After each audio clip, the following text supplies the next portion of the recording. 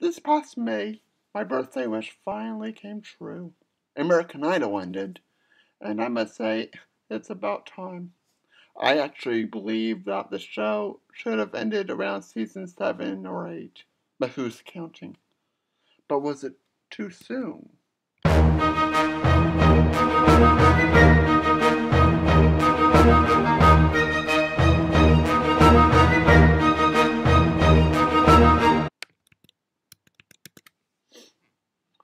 Ah, American Idol.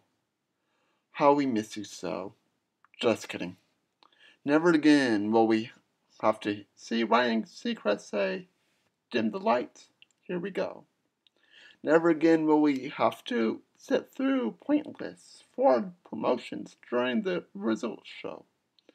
Never again will we question whether Clay Aiken is really gay or not. Oh, we all knew the moment we saw him audition.